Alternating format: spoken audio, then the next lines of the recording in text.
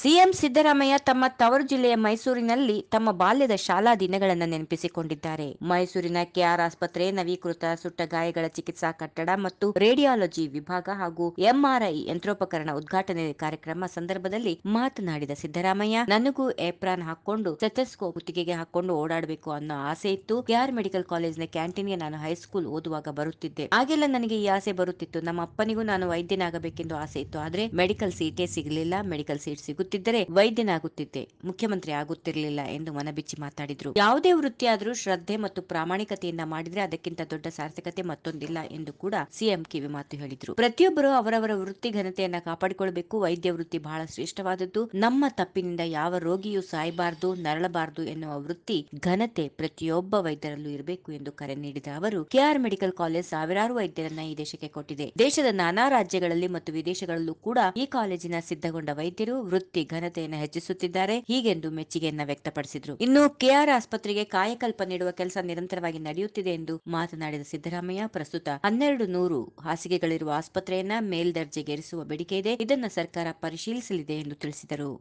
ಈ ವಿಡಿಯೋ ನಿಮಗೆ ಇಷ್ಟವಾದಲ್ಲಿ ಲೈಕ್ ಮಾಡಿ, ಶೇರ್ ಮಾಡಿ, ಸಬ್ಸ್ಕ್ರೈಬ್ ಮಾಡಿ.